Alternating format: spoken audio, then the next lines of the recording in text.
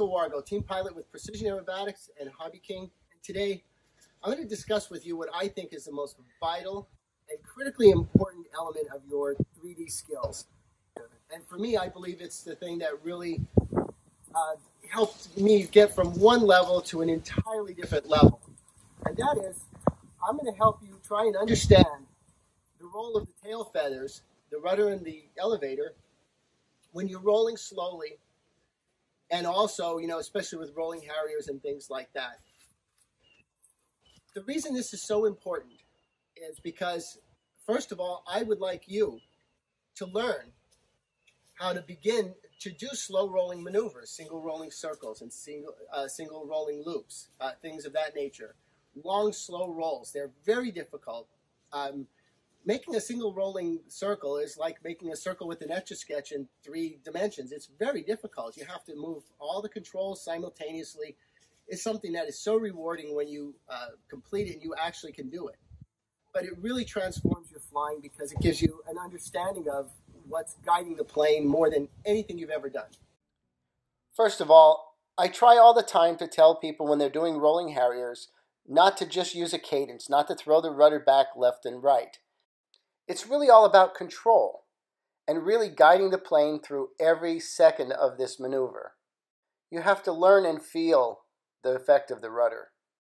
The very first thing we're going to do when we roll right is we do a little left rudder. Okay? And so uh, when it's on knife edge like this, um, we have the nose at the same level, which is our goal.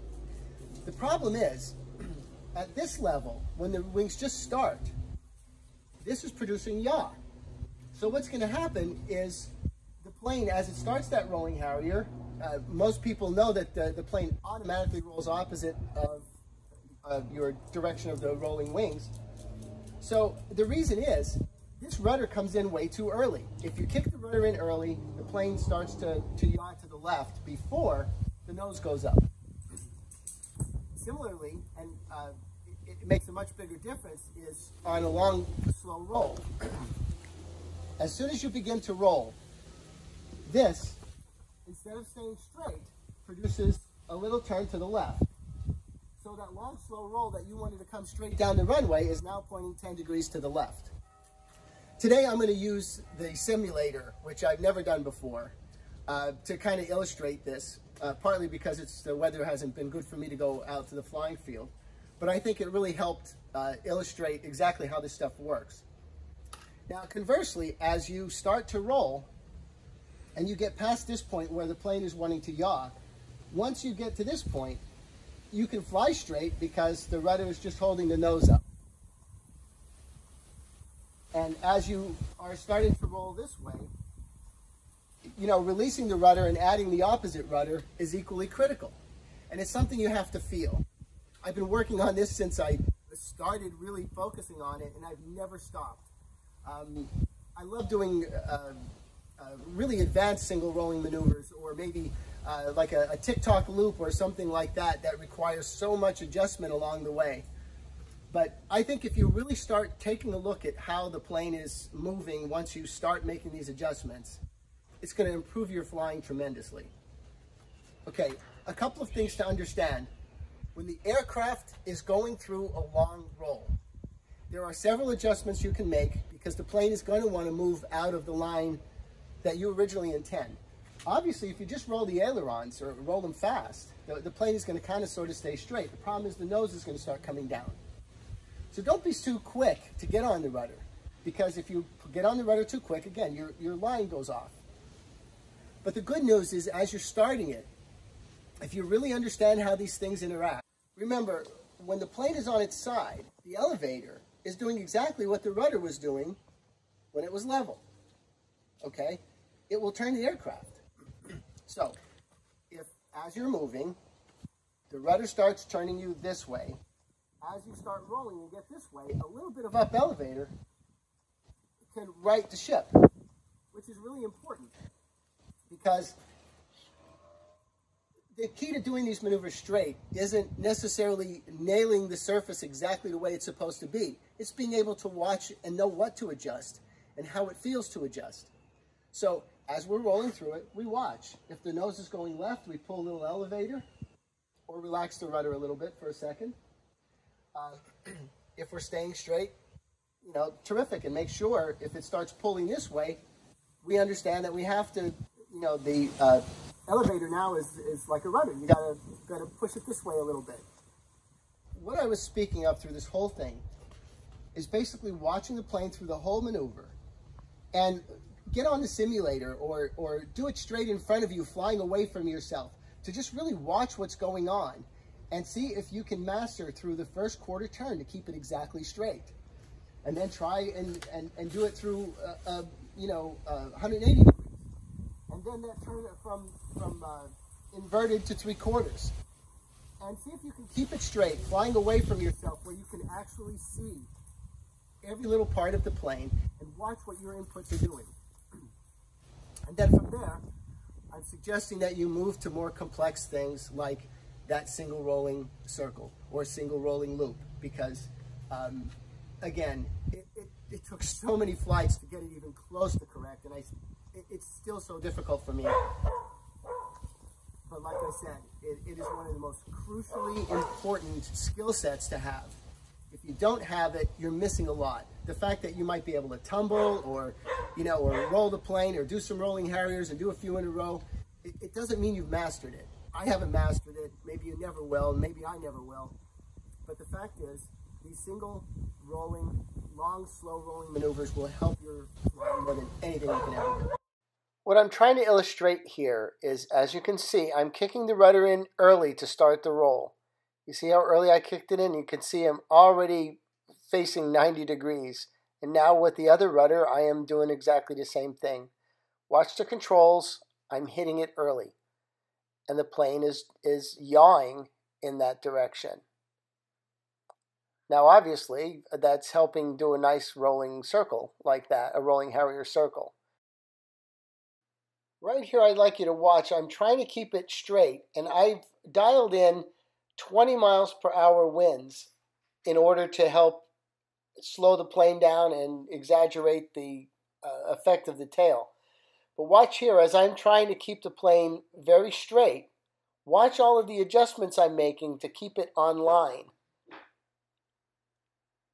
As I'm rolling through it, I'm constantly adjusting a little bit to try and keep the line as straight as I possibly can. What ends up responsible for making this staying straight is as I'm rolling, I'm watching the nose and making little micro adjustments back and forth just to keep it straight. And I think with the heavy wind and the slow motion, you can kind of see what's going on. Here's another at normal speed with a very exaggerated headwind, but watch me struggle to keep it straight and watch all the adjustments on the tail feathers but ultimately the plane stays straight down the middle. Here's a great example of me show just a little slight miscalculation on the rudder and all of a sudden now I'm 10 degrees off to the left. And I'm not ashamed to admit it that pretty much everybody who's ever watched me fly consistently has seen me make this crazy mistake at just entering a, the rudder a little too early. And here it is the right way where I added the rudder appropriately, made slight adjustments, and kept the plane basically right down the runway, which is the way it's supposed to be. And this is full speed. Here we are again, uh, just another long slow roll, and you're watching my adjustments as I'm going through the roll.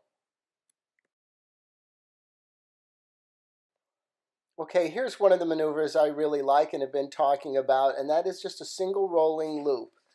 Again, this isn't perfect. I'll never perfect it, I guess, but you can watch the maneuver and watch the controls change. It's a very beautiful maneuver and very difficult to do.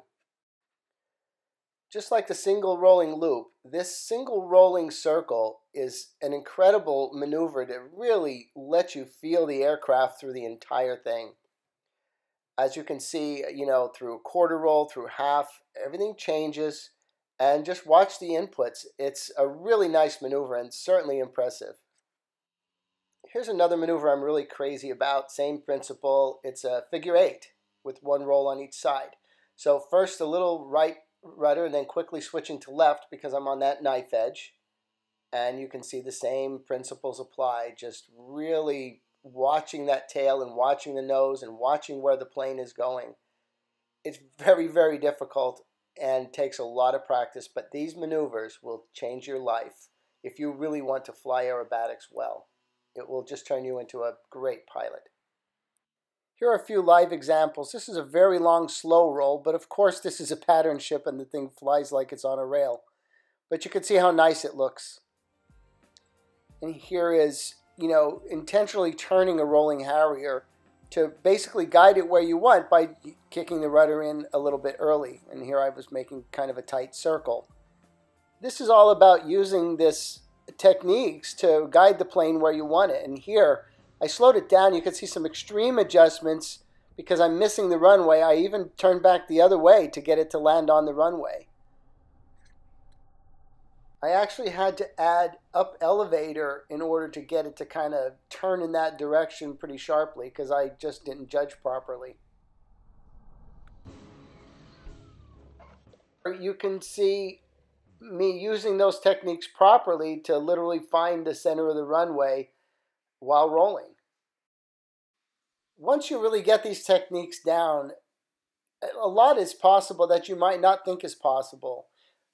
Here is, you know, that single rolling loop that I discussed earlier with the, you know, with the real plane. And it's a really pretty looking maneuver when you do it right. I thought this might be an interesting angle going straight at you. And watch where I just start to make it turn now because I want to turn it into in front of me. Now another little look at guiding it in a circular way to make a bit of a circle to guide it where I'd like it. Okay, I'll leave you with this. Of course, this is my pattern ship, but it is an eight-point roll through about half of the loop. But look how beautiful the maneuver looks. And all the techniques I discussed is what's responsible for this plane staying straight and the geometry staying right through this maneuver. Very difficult, but very worthwhile.